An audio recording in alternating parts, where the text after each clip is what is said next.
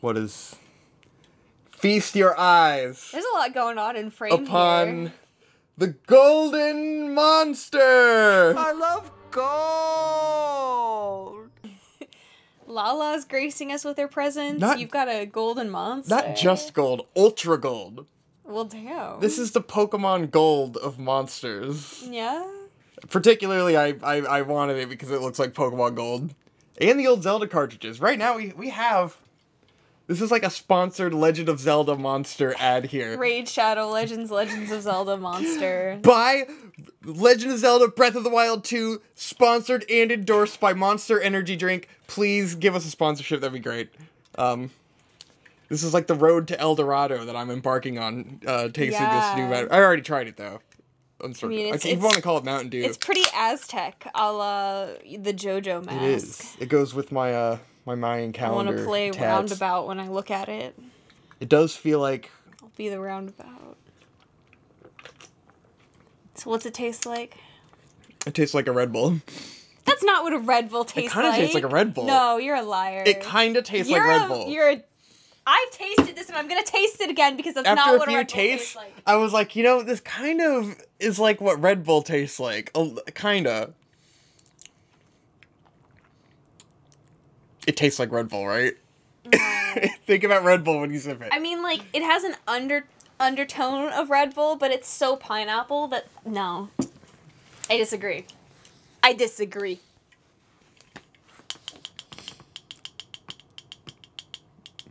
It's a classic. Green apple or watermelon. I don't fucking know what this is. Anywho, we aren't here to review Monster Energy drinks. Uh, we, But they are good. let us know if you want us to review Monster. We should do a Monster Energy drink tier, Tier list because we're probably the only people who've drinking enough variety Drinking? of monsters. drinking, yes.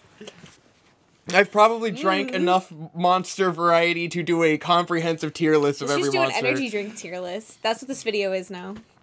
True. Fuck it. Fuck. Fuck whatever the video was. energy drink tier list. Whatever We're you doing thought it. this was, We're doing it now. energy oh, drink tier bonus list. episode. We're, we'll do that in the bonus episode. Ooh. We actually will because we're gonna record the bonus episode after this. Famous last Um, words. head on to patreon.com slash Vic and Hope if you want to see our Monster Energy energy drink tier list All that we just came up with lists. while recording this video. But this video isn't about that. Content doesn't stop. This is about Little Witch Academia.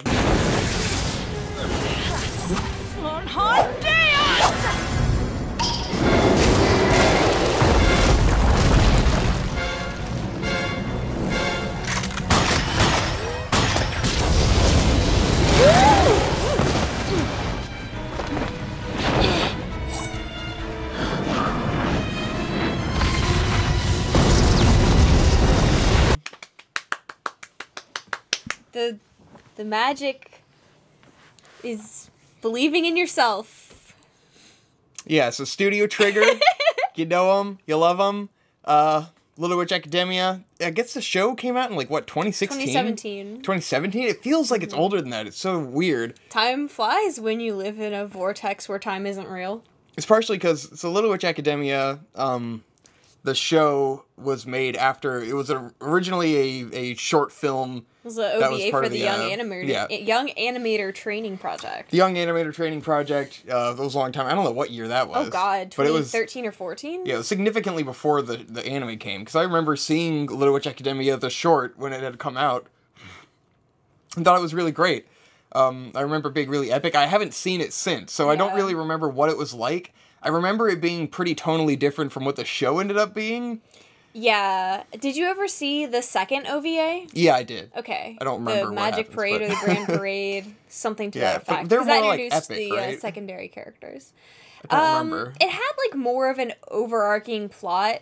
I think Akko learns to fly at the end of the first one. I couldn't remember if it how First much it resembled what it ended up becoming. I know Akko's probably a very similar character. Akko is like, the- pretty similar. the All the characters are pretty there. similar, but what happens is obviously not canonical to what happens in the TV yeah, the, series. the, you don't need to have seen them at all. No, it's just like those were what led to it being able to become a full show.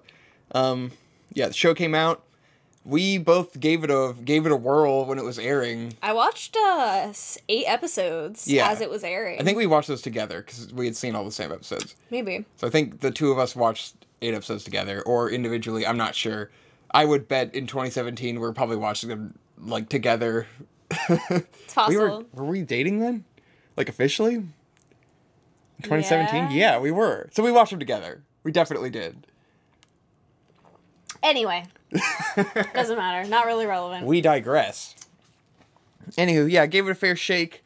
Uh, wasn't super into it.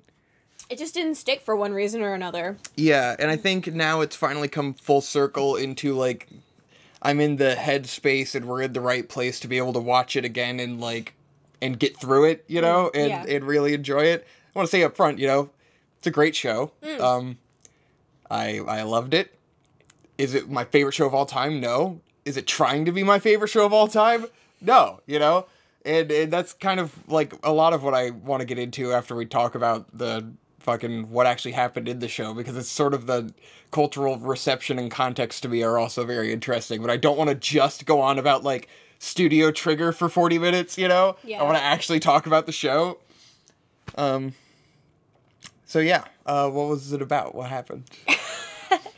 So, uh, Little Witch Academia is about a young witch in training named Akko. She's really passionate because as a child she was inspired by this witch named Shiny Chariot who traveled the world and put on these really impressive magic shows and she wants to to become just like Shiny Chariot and bring people happiness through her magic.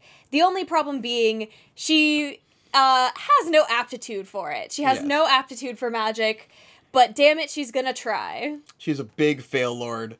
Um and it's it's it's quite comical. Oh, she can't do the magic. Oh how no! how did she get into this magic school? I have no idea. It's very questionable Well, like what the public perception of magic is. They address the the idea that Luna Nova, the school she goes to, was once very prestigious, but Yeah. their standards have fallen quite a bit. yeah.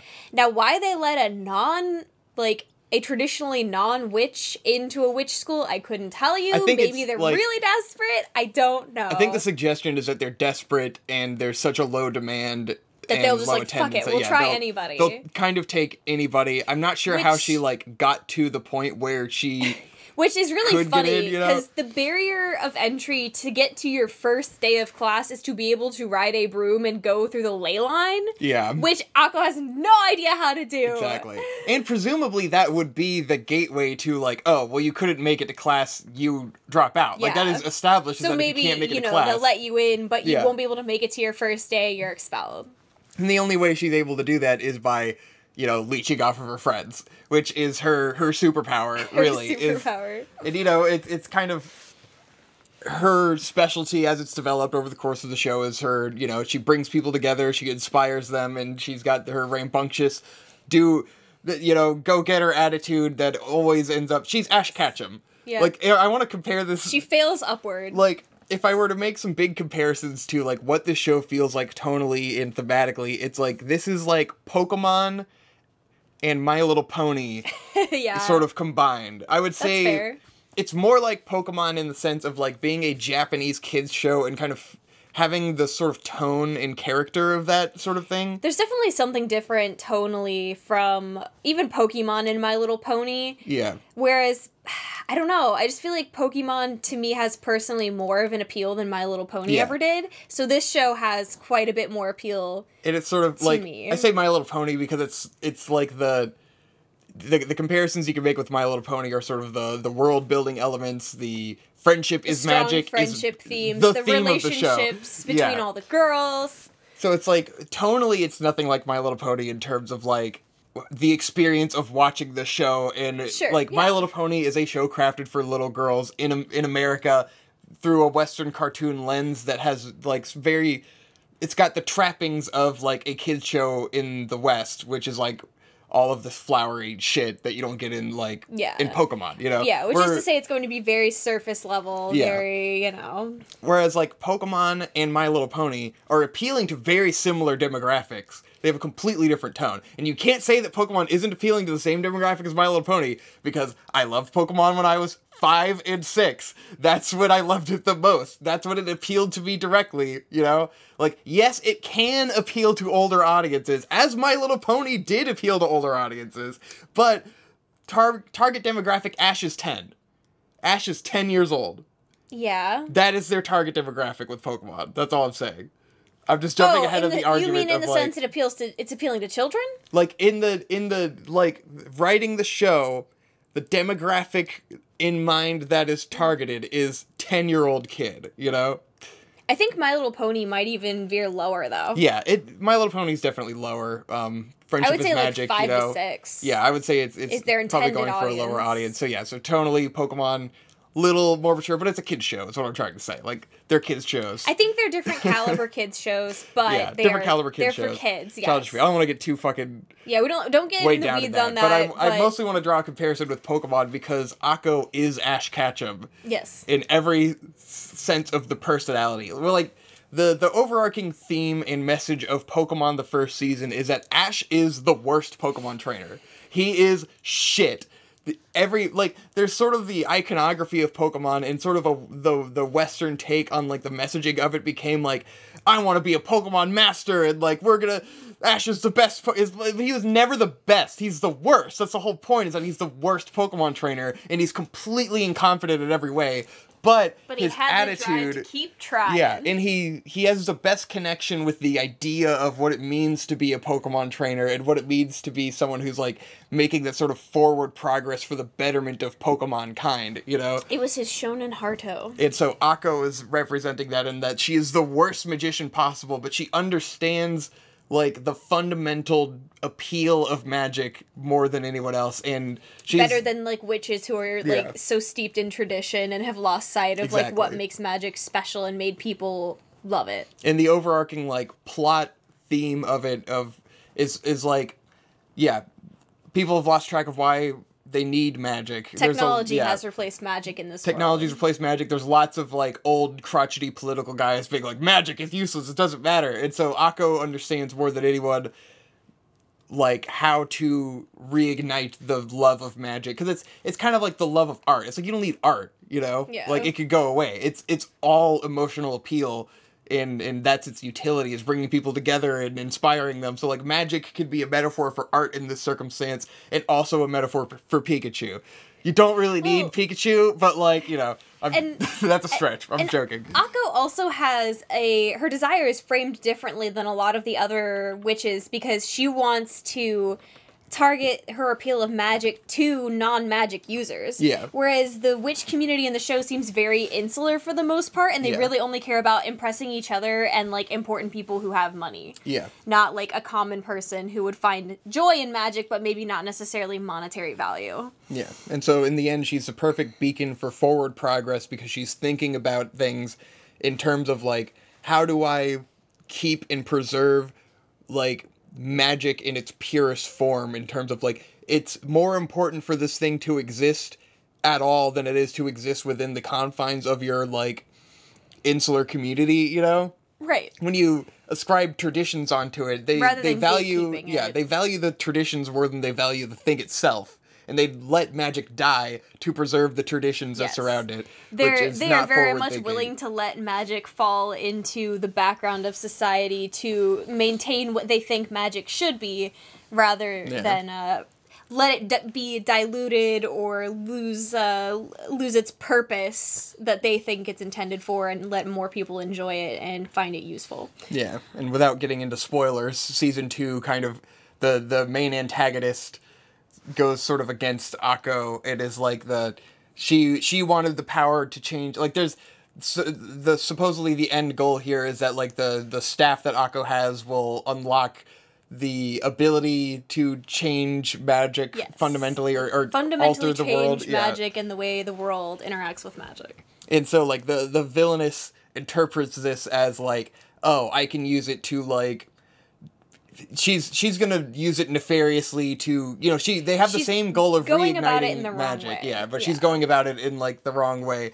and in terms of being like i'm the strongest and i'm the best at magic so i deserve this power but it's not about you know who deserves the power and like how you think you're gonna use it it's about the person who understands like where magic needs to go getting that power and not even wanting it. You know, it's a classic Yeah. literary trope. But Of course, and like you know, the the villain is willing to to hurt people and use their their negative emotions and uh like engender engender negative things in people in order to gra- get that power. Whereas Akko is, of course, not willing to do that. yeah, because it's about the power and not about uh, the results of like what happens with that society as a power. whole, yeah. yeah. not the betterment of society, just the continuation of magic existing and being used for science and uh, crazy. But now shit. we have all sorts of power. Yay! Yay! In the end, uh, this has become very. Uh, the discussion, as it always does, has expanded and exploded.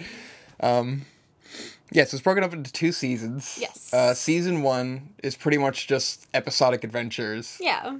And you it's get a your fun good time. old character development. You get to know all the main girls. You Yeah. know, you spend time with Akko and uh, Sucy and Lotte, who are her two main best friends. You meet a couple of supporting characters at the school. You meet all of her teachers. Um, I will say, like, one thing I really appreciate about this show is there is no A1 same face bullshit here. Oh yeah. Every character is unique. Every character, you look at them, you can read what they're about. You before they even speak, you like you get it. You're like, all right, yeah, I get it. And they're all like cute and cool. And there's obviously so much care and attention put into making every character an individual. Yeah. And they they have a great thing where it's just like each individual character only ever gets one episode of like backstory and fleshing out, but like in that one episode it perfectly gives you who they are and makes you love them. Even when it's like deep into season two you're finally learning about like the mechanic girl and she gets her own episode but it's like that was a fucking awesome episode and then after that you're like oh i love constance. She's always just kind of been around and Because you didn't really ever, get it. First of all, she never speaks, Yeah. and she's hardly around, so you hardly know anything about her until her episode. Yeah, which uh, can hit and miss with some of the characters because someone like Sucy is a fucking great character. Uh, so awesome comic relief, just a, a joy every time she's on screen because she's so much fun. Um, but she really doesn't get to do much like through all of season two. Yeah. She gets her I mean- episode in season one where it, they go into her head and it's like the the Teen Titans Raven episode kind of, um, where they're meeting all the different sides of Sucy. But like she's not developed after that at all. Well, being the comic relief character and like the snarky pushback to Akko, she Yeah. can't change but so much.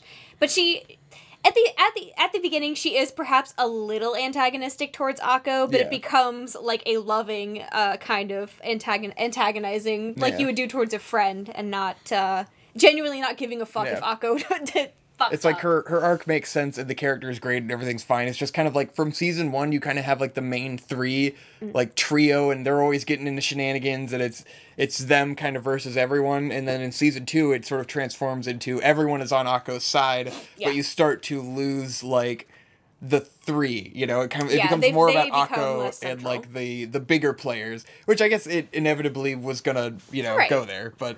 I guess like I could have had another 13 episodes of just random adventures with the main three, and it would have been fucking great, and I would have had no problem. But uh, season two definitely gets into the the plot of the show a lot more. Yes, which so the overarching plot of the show is of course, you know, Akko, she sucks at using magic. She's she's no good, but she inherits uh shiny chariot's rod, her wand. Yeah, And you come to find out uh, through the guidance of her teacher Ursula that she needs to unlock these uh, seven magic words in order to access the Grand Triskelion, yeah, which is the thing that allows you to change the fabric of magic and how it interacts with our world. Mm-hmm. So that's the overarching. Like once you Yeah. settle into the school, you and I would introduce all the characters. from episode like two, you know that Ursula is shiny chariot. oh, it's fucking Like, obvious. Yeah, you're not meant to be like, who is this mysterious woman? It's like, Yeah. it's Chariot. But uh, Who's that Pokemon? like it's it's great that they set that up as a big end game twist that like we already obviously know and it, it, it knows that we know from the beginning and Yeah. it lets us know pretty early on like blatantly who she is but Akko doesn't know and that's because still Akko is oblivious. the motivating factor. But they still deliver a really great twist towards the end. Yes. Why, by giving us the full con because you're the whole time you're wondering like how why did she become a teacher when she was like this great sort of celebrity Performer, you know yeah. from Akko's perspective and there's like a trading card game and she's got like the beautiful cards and stuff and it's like she's clearly this legend why is she teaching we don't have the everyone rest at of the the school context has a negative opinion of Chariot, and you're not Yeah. really sure why for quite a while. and most of the faculty doesn't seem to know that she is Chariot yeah, like, she seemed to has she's hidden her identity and completely changed Yeah. her appearance, her name, everything. I think the the head master knows Maybe, but I don't think the others teachers know yeah, there are definitely some teachers who don't seem to know yeah um, that she is Chariot. And so it's like most people aren't even calling this into question until late into season two of like who the fuck she actually was, because uh, she claims to have been a student who attended the school, um, even though there's no record of her, which you'd think would be very obvious and quick Which, yeah, you would think everyone would be like, "That's weird, huh?" Huh? There was never a student here named Ursula. We don't find this out until fucking deep. No It doesn't, worries. doesn't matter. It's not a big deal.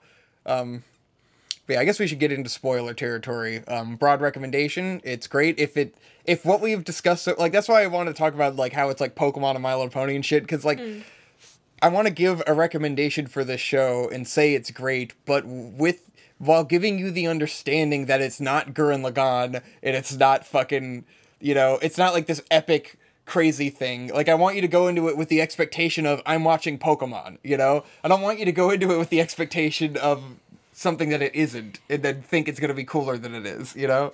I think in a way, being a trigger show has become a curse in and of Yeah. itself. And that's what I- because I'm gonna everyone expects every show that Trigger makes to be a Gurren Lagann or a Kill la Kill. Yeah. And clearly that's not what they want to do every time, and every time they don't deliver on that, people get upset. Yeah. So I would say don't, you know, don't come into this show with that expectation of it being, you know, the trigger show, Yes. Gurren Lagann, Kill la Kill. Because the like the the history of this is that you know, Imaishi worked for Gainax. Right. He made Gurren Lagann at Gainax. He directed that. He made other stuff before that. It was all fucking crazy as fuck. Gurren Lagann is actually the most tame shit he had made until then, but it gets big and epic and amazing. Everyone loves Gurren Lagann. Uh, Imaishi, I don't know if he started Studio Trigger, but he's like the head of Studio Trigger, I guess. And he directs Kill la Kill, Studio Trigger. Kill la Kill is a lot like Gurren Lagann, but kind of turned up to 11 with like goofiness and insanity. Um, even you said Yo Yoshinari did Panty and Stocking, right? Yeah. Because that was around the same time, one of the early triggered things. Panty and Stocking, crazy, vulgar, insanity turned up to 11. So, like, Panty and Stocking may still have been Gainax. I think that was still Gainax, yeah. Yeah.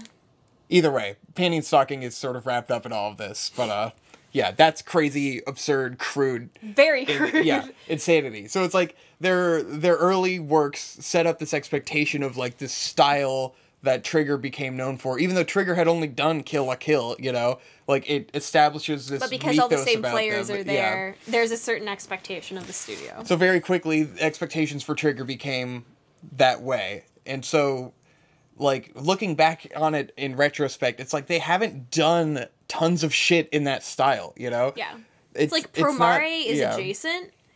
and I think Pro Promare, Promare, whatever you want to say, I think it's fair to to lump Promare in with those things because it is going for the same kind of style. It is directed by Imaishi, doing another Gurren Yeah. Lagann with a lot of the same themes and aesthetics as Gurren Lagann. That's a completely fair comparison. Yeah. But then to take Little Witch Academia or BNA and, and, and try to compare those two, you're Yeah. comparing two di- completely different animals. Mm-hmm. And it's sort of when you go into something with with an expectation and you get disappointed because like oh I thought Studio Trigger could do you know I I want Gurren Lagann again I want Kill la Kill again and Studio Trigger's not giving me those things so I'm really disappointed in their their other shows. It's like well just just because it's made by the same studio doesn't mean you should go into it with those sorts of expectations. Like you don't go into every A1 picture show wanting Sword Art Online. You know you don't go into every fucking PA Works show expecting Shirobako. Like that was an a crazy outlier in terms of their lineup, you know? Well, and here's the thing because like I feel like if you if you box a studio in and you say, okay, you made this thing that I really like, and I want you to just make things like that from now on, you end up with like a Marvel.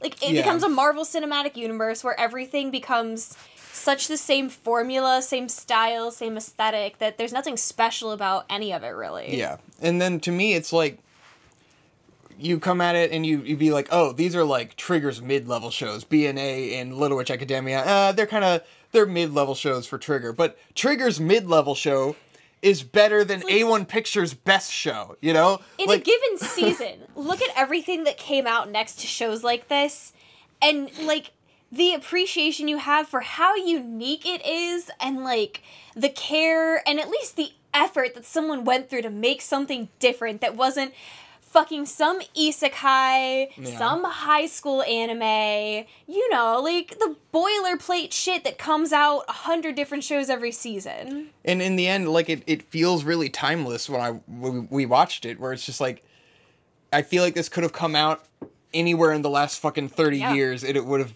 been pretty similar. And like it has its own style. I think it's gonna age incredibly well. Absolutely. Because like you could, if this is on Netflix, any kid in ten years could watch this on Netflix. They wouldn't know how old it is, where it's from, or what the fuck's going on. It's completely timeless because it's doing its own thing, carving its own path, its own world and its own aesthetics that are beautiful.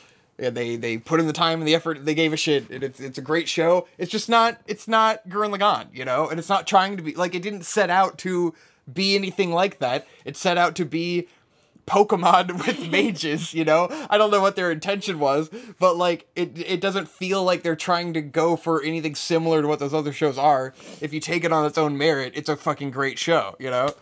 Let Yo Yo Shinari make his kids shows. Let him do it. Yeah. Let him make his shows for kids. Damn it. let him let him do what he wants. And like BNA has its problems, and you know I could talk about those forever. But it's like I feel like if people like the the hype around BNA when that was coming out, it looked like it was going to be a a more triggery Imaishi style thing. Even though like we knew who was directing it, we knew kind of what to expect, and then people kind of put this expectation on it, and it's like if you compare it to Little Witch Academia, BNA is.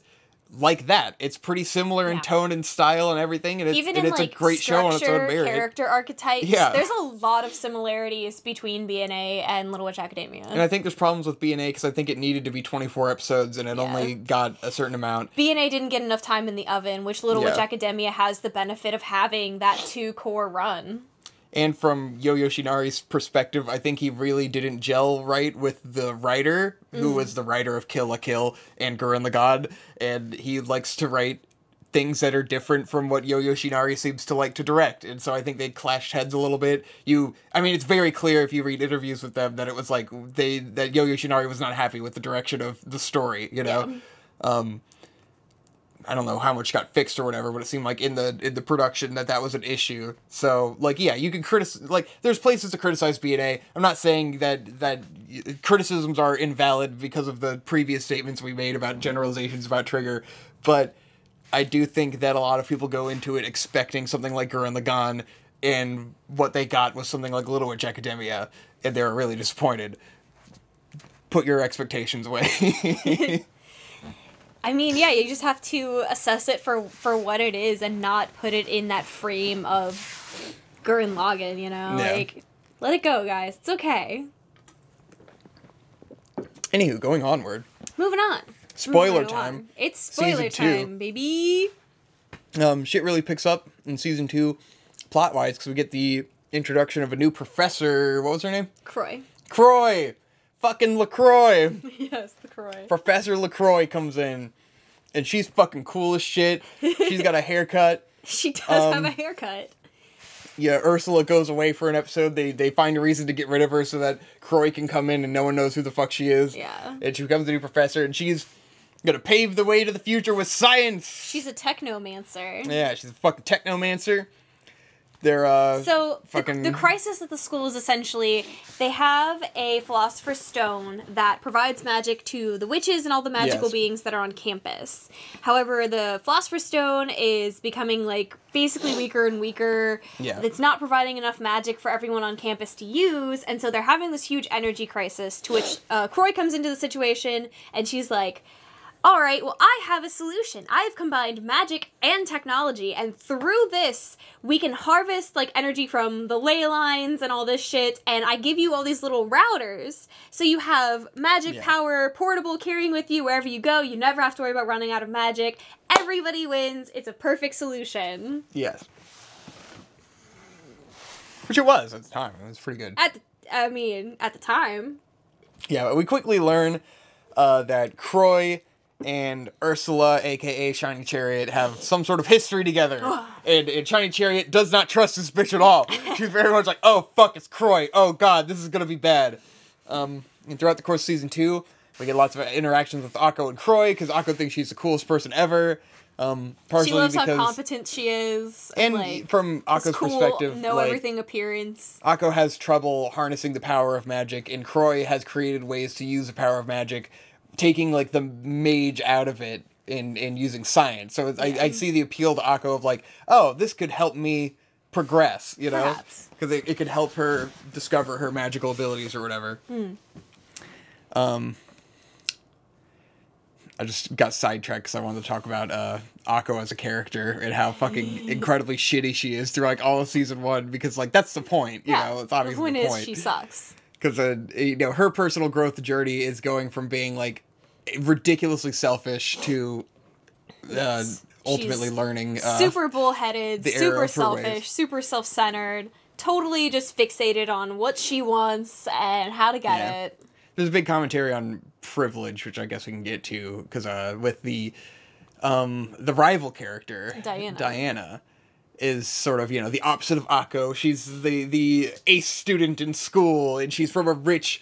Uh, From a very prodigious witch family. yeah, like the most prestigious witch family of all, the Cavendishes. Oh, she's the coolest, and so she's poised as like the Gary or the fucking you know the classic snooty rival. But I think that's not fair because Diana is like never a bitch. Yeah, she is. She's a- very competent and very smart, and she calls Akko out on her bullshit.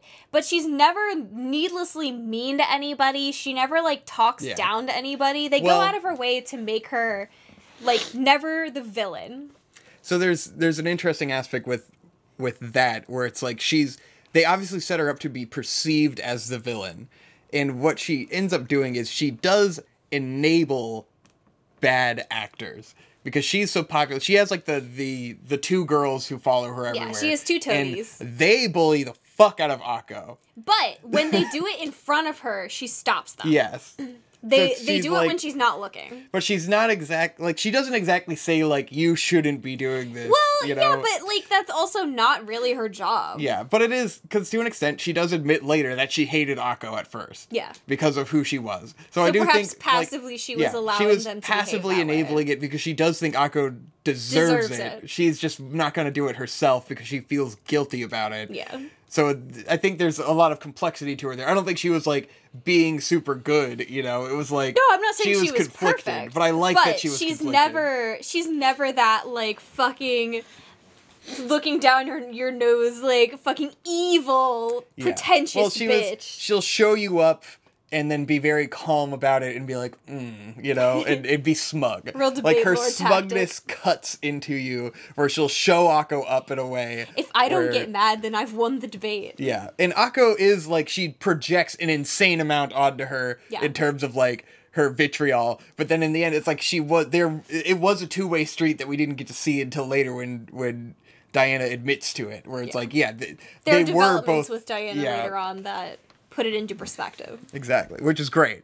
Yes, which I love. They took that character and like that archetype and like Yeah. did something with it that was And actually they- really impactful. they they sent it to where it should logically should have gone where it's like it justifies the way she acts by looking at her history and looking at like who she is, how other people perceive her as being from this rich family or whatever, and it's a perfect contrast to Akko because to Akko, Akko just perceives her as oh, rich girl from magic family, obviously is just predisposed to being amazing at She's magic. She's clearly just born god tier. And I feel like we learned kind of early on that like obviously she works really She really tries hard really and that's why she's yeah. really good at magic, but we continually learn more and more about like she really works hard and that's why she's really good at magic Yes. because uh she was also similar to Akko in the way that she uh was especially shitty as magic when she was a little girl. Yes. She had no magic aptitude as a kid, and she had to work really hard to get to where she is now. Yeah. As an aside, I think it's really funny that uh, Akko and Diana are basically Michiru and Pink Dog Girl from BNA.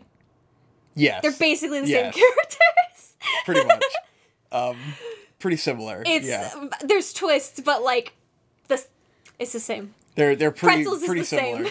I mean, Akko and Diana have a lot more time to get fleshed out Yeah, and are, well, are absolutely. much better in that but regard. But at the yeah. core of what those characters are, Yeah. Cuz like Diana gets to have like she didn't even, you know, she has a like a change of heart and it's in l- way less of like a forced way because she gets Yeah. to sort of learn over a very long period well, of time. yeah, there's so much time that we get with them. And Akko gets to have these great moments where she shows Diana who she is. yeah. And uh And Diana can come to terms and see, oh, and Akko gets to see like it's really the the crowning progress for her character is learning about Diana and how much work she put in because then Akko could reflect and go, "Oh, I haven't been putting in any work." Right. Because Akko is the is the type to and she I likes to say she's to been working hard, but really, Well, what uh, it, what she's been doing is thinking hard. yeah, like- there we go. she is so preoccupied with like she wants to work hard. She knows she has to work hard, but she doesn't really understand what that means. And it's kind of like kids studying and like I relate to this a lot Yeah. where it's like you you know that you need to get better and people are telling you you need to do this and so you sit down to do it and then like she's so bad at the act of like studying and trying and she doesn't understand how she's going about it wrong there's no one uh, teaching Ursula's her not properly good at like guiding her to the appropriate way Yeah. to work hard. and she's not good at the grind and so it's and she expects fast results where she thinks like working hard means oh i worked hard that one day yeah, you know I it's it's like a it's a sprint for her. It's like she does Yeah. that hundred meter dash, and she's like, "All right, I'm ready. I should be able to fly now. Let's go. Let's go." Yeah, and she she wants those quick results, and she spends way too many time, w- way too much time cutting corners. Yeah. where it's always like, damn, working hard is It's really hard. difficult. There's got to be something I can do to expedite this process, and like most of season one is her doing that of like shit. Cutting corners Ah. and getting fucked. And a lot of the times it will result in her like helping someone or doing the right thing in the end, but it's usually it motivated puts by her into that yeah, hole. by ultimate self interest in like being a complete selfish fucking idiot and not understanding like how useless she's being and and how how much of a burden it is on everyone else around you when you are complaining all the time and because she's taking it for granted that like she thinks everyone else just gets this better than she does Yeah. you know she thinks that they just magically are competent and didn't put in the work that she is trying to put in. It's like no, everyone put in this work. Like Yeah. you if you look at someone next to you and they're more talented than you are, you shouldn't think, "Damn, it must be nice to be born with such fucking amazing talent." You should be thinking, "Damn, they must have really worked hard to uh, you know, to obtain this that." level of skill. and sometimes it's, you know, sometimes people are just fucking Some great, people you know? naturally have higher aptitude, sure. And by the end, it- it almost- not. it almost invalidates that by the end with with the twist where it, it turns out that like she really did have uh, less magic in her to be able to do these things Yeah. but you can still draw the comparison with Diana who had the same starting Yeah, set because you have two Yeah. players starting from the same place, and yet one Mm-hmm. of them rose up and the other did not. yeah. and you could say that Diana was able to rise up due to a certain level of privilege because she was in a magic family. She had all the resource, resources at her disposal to be able to learn that stuff. Akko does acknowledge that she was fucking around, not doing anything most of her life, and just like jumping on a broom and being like, "Why can't I do this?" Which I understand in terms of like, this is sort of like my perspective on going to college, where like a lot of your life you think like i'm going to go to college and learn this thing and you don't think about the fact that you should be learning it already and then go to college and enhance that knowledge that you already have. Yeah. like for me with filmmaking it was like oh when i go to college they'll teach me everything i need to know you know and then i'll be able to go and work. And you because you don't understand like the sort of level of effort and thought that goes into these sorts of things. You just think like this is what people do with their logical path in life i'm going to go there they're going to teach me and then i'm going to be good so Yeah. akko growing up is thinking i'm going to go to this witch academy and they're going to teach going me how to, be, a, witch. witch, and then I'll be a witch. Yeah, she never thought I need to learn this on my own to get to a level where I can go to the academy to learn to be a witch. She just thought I'm gonna go here like emblematic with she couldn't fly to school on the first day. You were supposed to already have known that. Right. There's You a baseline you need to know before you can even get into the school. Yeah, so you have to be self motivating to learn this shit on your own, which Diana did. She self motivated to learn all this Yes. shit, but through the lens of she had the privilege to know that these things even fucking existed when Akko had no not like being Yeah, from not a had magic less family. context. She had no context, so it's but, you can't totally blame her because I think if she had more context, she she would have made a different decision. But she didn't self motivate at all. You know, there she might have been able to find that information if she tried. And Diana has her own obstacles. Like her mom dies. She's living with her fucking shitty aunt who Yeah. wants to just put her down all the time. She's got the stresses of knowing she's gonna have to inherit the family name. Yeah. Like she's got a lot going on as well. Yeah, she's got a lot going on. I'm not trying to say that privilege makes her like not as cool, you know. Yeah. It's just like but she does she does come from a position where all of that information is is in her hands to be able to better herself where Akko did not have access to any of that. Yeah. And it, it Sure. doesn't really acknowledge that in the show. And the fact that like like I don't want to be too hard on Akko for her not trying growing up because she there's no way that she could have known Yeah, what she was supposed she couldn't even know what resources to, to Yeah. try to find to start. Now it becomes a problem when she gets into the school and doesn't recognize that she's starting from a lower position than everyone else and is kind of blaming them for her not being good. And it's like, well, you can be lesser, just acknowledge like, yeah, it's not your fault you didn't have access to this, but now you have the ch- now you have the opportunity you can learn and you're kind of cutting quarters around that and you're not doing it, Right. you know? You're just like, well, why am I not getting it? Rather than asking a teacher for help, like seeking Yeah. seeking guidance from teachers. Like Ursula comes to her Yes. and says, I'm gonna mentor you. Rather than her approaching a teacher and being like, Hey, I'm really struggling. I'm starting from a lower place than all these other students are. Can you help me? And there's the like th- throughout season one, it's sort of yes, most of the faculty is putting Akko down all the time, Hmm. but Ursula is saying like, "Let me mentor you, let me help you," and then Akko will like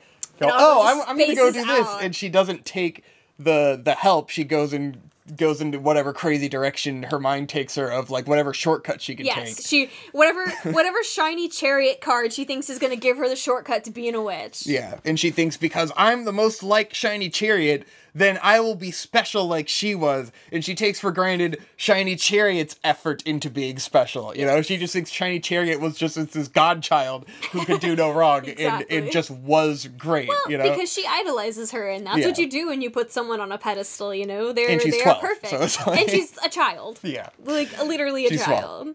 I think Akko is the embodiment of uh, not working hard in Hong Kong, but thinking hard in Hong Kong. thinking hard in Hong Kong. I'm, it's so me growing up of just like if I think about getting better. I'm just gonna put so much thought into self improvement that I will improve. Definitely, yeah. God, why do I suck so much? I just gotta figure out how to self improve. How can I suck less? I just need to think my way into being a better person. Oh man. She's great. This one makes her a great character, you know? And Akko is a great character. Through like, learning about Diana, she gets better. And then she goes like, oh, I haven't been doing the work. I do need to do better, you know? Because like a character like Akko can become annoying very quickly. Oh, yeah. If it's not handled correctly. But Akko is handled really well in a way that like when she's acting that way and through the time she's like figuring it out, it is like charming and you Mm-hmm. still like her. And then when you figure when she figures it out and like grows, you're like proud of her. You're like, Yeah. yeah. And the show does a good job of being critical of her and not sort of like it in the end of course she's main character so everyone loves her and Yes. she she brings everyone together and that's her value but like it is critical of her in the way of like she's a fucking selfish brat and everyone is like sick of her shit all the time always sick of shit. But at the end they do acknowledge that like if not for her, all of these people would not have been brought together. exactly because she's just so damn outgoing and extroverted and rambunctious that she brings people together and she helps them see the flaws in themselves, just like Ash Ketchum from Pokemon. Uh, he's just so stupid that he fails upwards. Yep. The And that was the point of Pokemon. upwards. Yep. And then they ruined it with every subsequent Pokemon from then on after And Johto. then eventually he finally got to be the champion. Which defeats whatever the whole point league. of Pokemon! Anyways,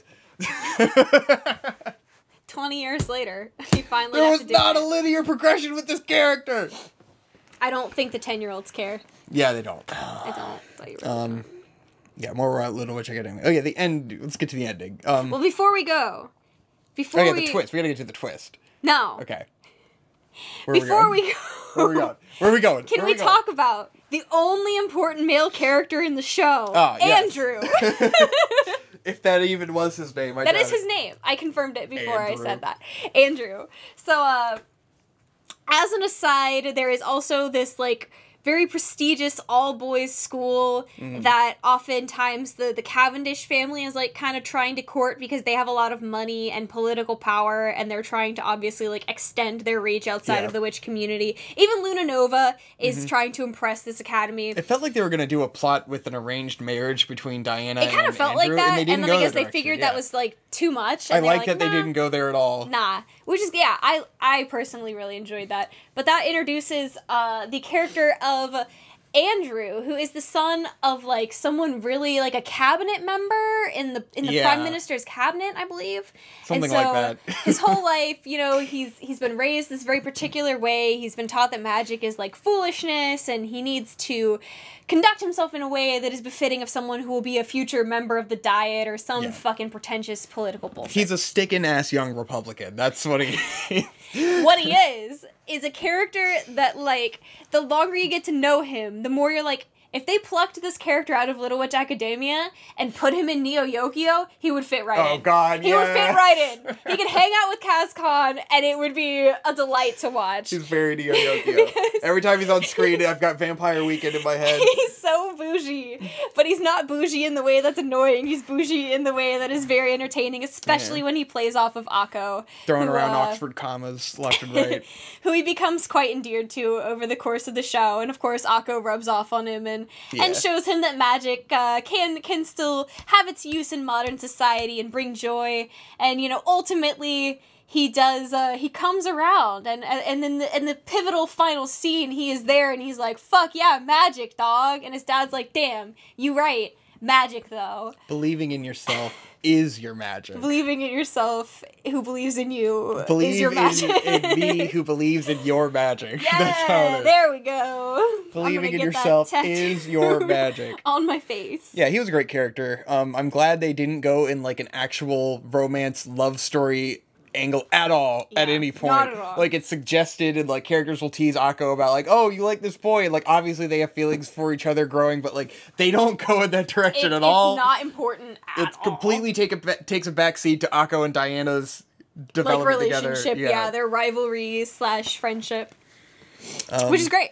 yeah. I love it. But Andrew is also great, so I'm really glad they uh, they still included him.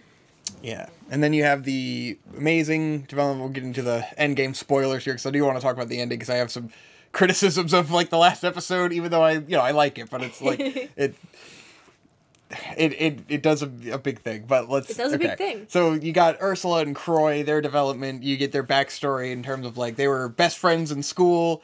Uh, Shiny Chariot got the the fucking wand, the the shit It has a uh, name that I can't the thingy- pronounce. the staff.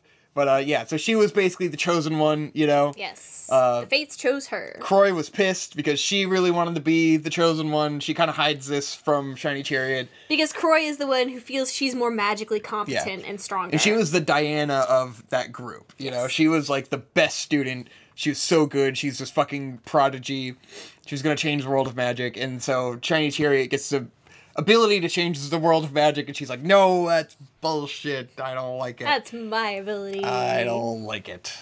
But yeah, I mean they're they're they're friends for a while, and then you get the sort of backstory in terms of like what happened to Shiny Chariot. We finally get that towards the end after she finally explains. Uh, she explains it to Akko, right? Or she explains it to Diana first. Who? I think she explains it to Ursula. Because she sits down and explains it to Diana. Because Yes. Diana had figured out because that she Diana would, is, comes to her and she's like, "Okay, I know you're Yeah. shiny chariot." It's like I know you're Shiny Chariot. So she explains to Diana what had happened was um, Shiny Chariot was doing her big magic shows uh, to try to inspire people into magic, but then the ratings were going down. They were starting to get stale. People want more. They weren't flashy enough.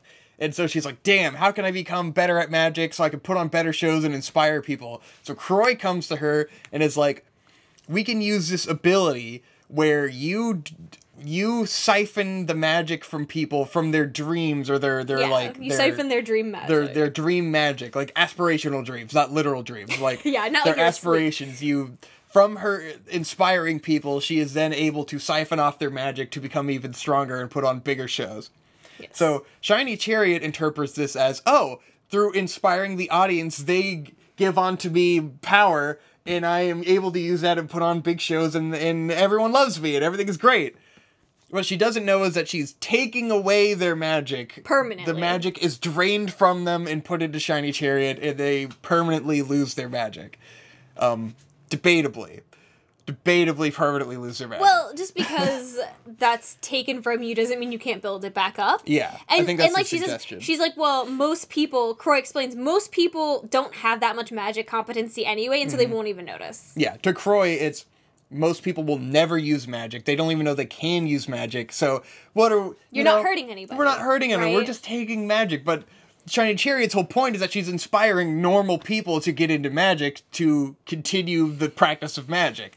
So she's inspiring all these people, and it turns out that on one of her shows, it was the show where she unveiled this big power and had like the most spectacular show ever. Um, Akko and Diana were both there, and they both had their magic taken away by Shiny Chariot. Yes. They were both So- big fans of Shiny Chariot, and they both had their magic Yeah. taken by her. And so Croy ends up telling Shiny Chariot what she's been doing, and then she's like, "Oh fuck, I can't do this anymore." And so she starts trying to put on her old shows, and people don't like it, and so she goes into hiding, and she becomes a teacher because she was ashamed of herself. She couldn't continue doing what she was doing, and the the guilt was tearing her apart. She very much hates herself over You're this. tearing me apart, Lisa. That's why she has been a broken person and she takes on being Ursula. So when Akko comes to the school, Akko tells her about how she was inspired by a shiny chariot thing and she can't use magic. And Ursula's like, And oh Ursula's fuck, fuck. uh, I definitely took your magic. oops, my bee. Which kind of, you know, now we go back to like Akko and her sort of, you know, like it sort of almost invalidates her, like, oh, well, you can't say that she wasn't trying hard now because she literally had less magic than everyone else. But if she were trying hard enough, she could have got it back like Diana Because did. they prove with Diana that Yeah. if she had put the effort into it, Yeah. she could have become a badass witch, which So, like, Diana still is. She was starting with a disadvantage, but she could have overcome it if she put in the work, and she didn't put in enough work, which is kind of like, you know, tricky. it's kind of a bootstrapper message of like, you know, Ah, you just gotta put in the work, kid. It doesn't matter if you're inherently disadvantaged. But simultaneously, if you just put in the work, you could be Elon Musk. This is this is a kids show. Yes. This isn't some fucking it's not a- YouTuber telling you it's to not buy a into broad Bitcoin. commentary on society. You're not gonna become a billionaire It doesn't have overnight to for be buying perfect. crypto. like, let's not let's not go too far doesn't have to that. be perfect. It's messaging for kids. It doesn't have to live up to my fucking uh, socialist perspective or whatever the fuck. The message is just, you know, even if you naturally feel like you are below everyone around you, if you have the resolve and you put in the work, you can catch up to your peers and at least be as competent, if not perhaps surpass them. Yes, which is true. You can do it if you believe in your magic, which is believing in yourself. Yes. Believing in myself is my fucking magic. Yes. Um, Believe in but yeah, so getting to the ending, uh, the the twists come out.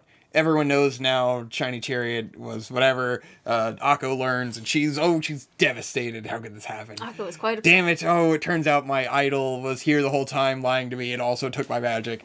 Uh, And also, she stole my magic. But ultimately, she forgives Shiny Chariot. Uh, there's a big battle between her, uh, Croy, and Shiny Chariot, and it's fucking dope shit. That's like the best part is fucking them battling. because uh, Croy has made this uh, big uh, kaiju, which is collecting energy, so that she can. Uh, she steals the rod from Akko, and she's gonna open the Grand Triskelion herself because Yes. that's her right as being the baddest bitch in this place. And somehow she presumes that just by opening this thing with her own shiny rod that she created, Well, that she stole it. wait, did she get the actual shiny rod? I thought she Yeah, was she had it. her- She okay. stole it. but she couldn't use it because she didn't have Right, because when she gets the Grand Triskelion, no, she has it. She opens it. The Grand Triskelion is that stick. Yes. And she's like, "What the fuck am I supposed to do with this?" Yes.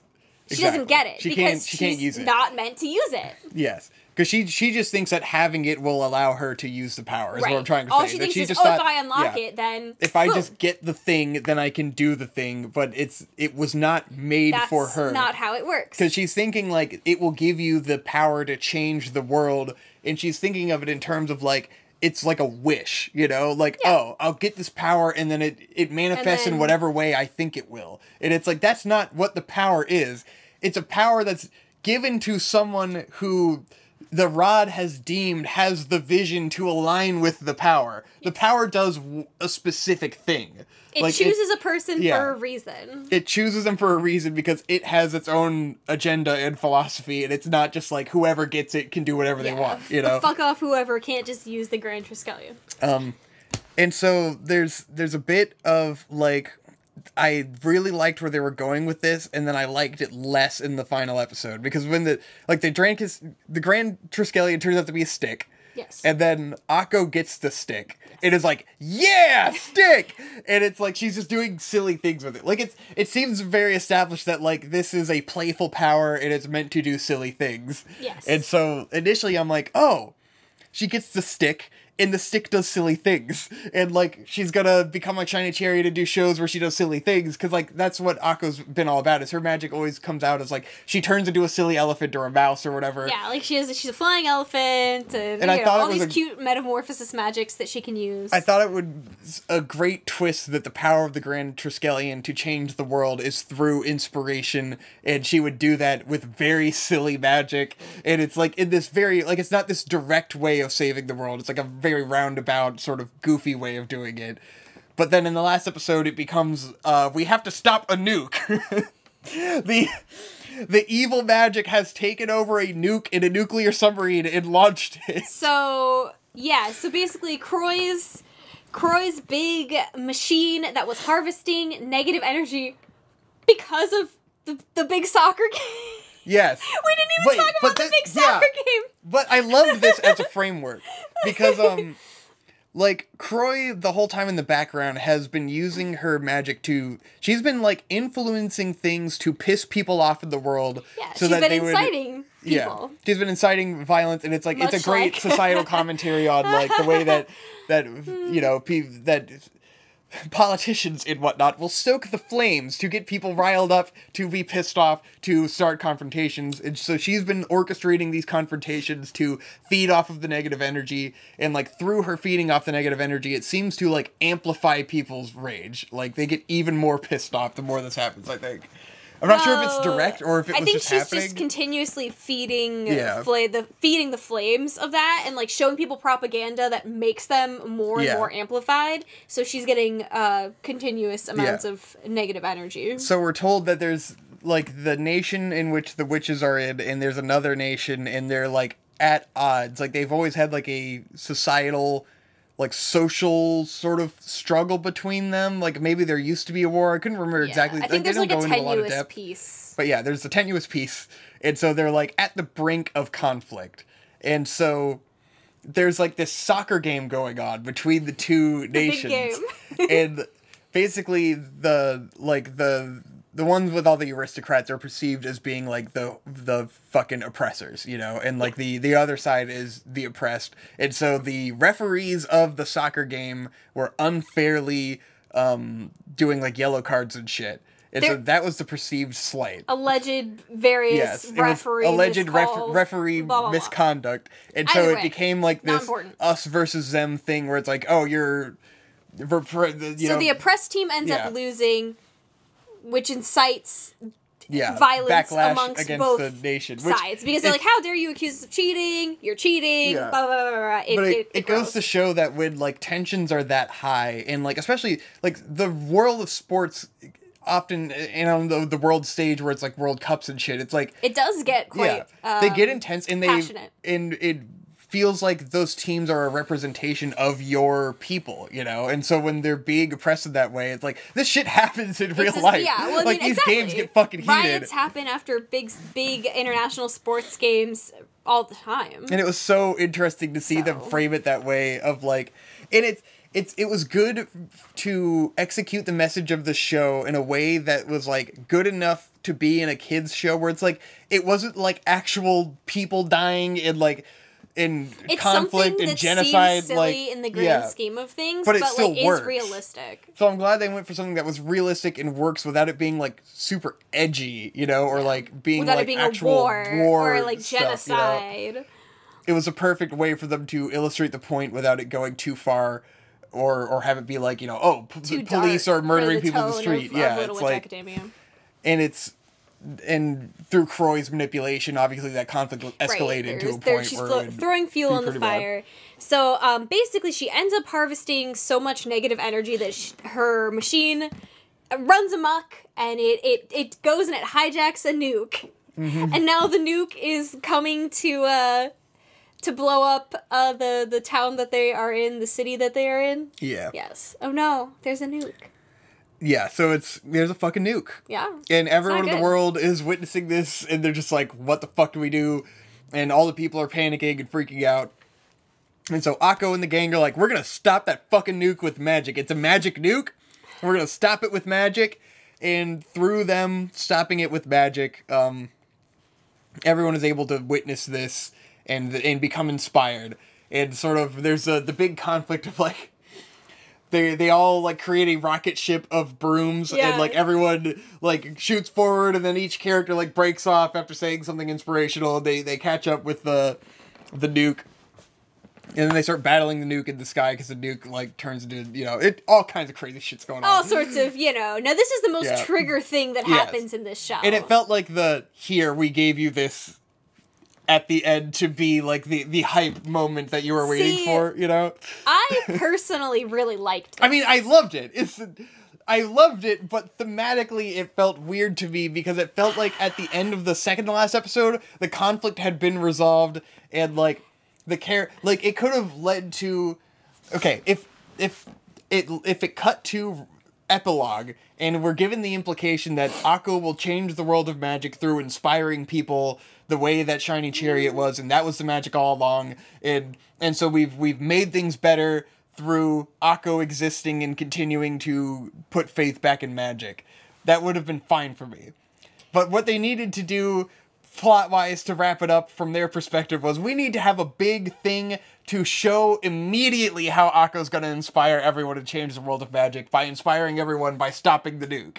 And it accomplishes the same goal, but it goes into like this big ridiculous thing, and then she uses the power of the Grand Triskelion to stop the nuke.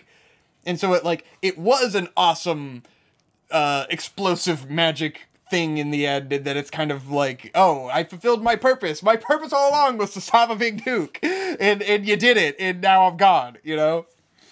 I mean, I disagree because I feel like the end of the second to last episode was very just like what you would expect from a kids show. Oh, Yeah. I learned my lesson and I got my magic power up and now I'm going to go do my dream. Yes. And then, you know, when you take that and then you you give Akko the hard choice of just like you have this power and you could use it to follow your dream and go to your big magic shows and make everyone happy but instead you're gonna sacrifice this thing that mm. could could just boom answer your, give you your dream right then and there and Yeah. instead she sacrifices it to protect everyone that she loves and then you know she does kind of have to start from square one but she's Yeah. learned so much Okay. that she's going to progress from that much more quickly now i completely agree with you because i hadn't as soon as the as epilogue hits you Yeah. you see that she learns to fly i hadn't perceived it as she was sacrificing the great power She was sacrificing something that could have doing that. fulfilled her dream instantaneously. Yeah. Which is huge for her. and that was a big theme throughout the whole thing was um because that was part of when she got the power in the first place right wasn't there an offering of like someone was like you could have this and you could be a witch and Professor part of the Woodward test it was the initially for um helping tests diana her. She's like, if you walk Yeah. through this gate, you can you can become like Shiny Chariot, but you have to give up all of your All your friends. past, your Yeah, friends, your everything, all those happy things you have to give them up. And Akko's like, well, no, then it's not worth it. yes So this is a continuation on that character arc for Akko. yeah where if she doesn't have those people and she doesn't have those connections then magic doesn't mean anything to her yes which is good. Okay, now I So to now I me, agree. I, really liked that ending. I hadn't perceived her as sacri- like consciously sacrificing. yeah, she the power. gave up the Grand Triskelion Yeah.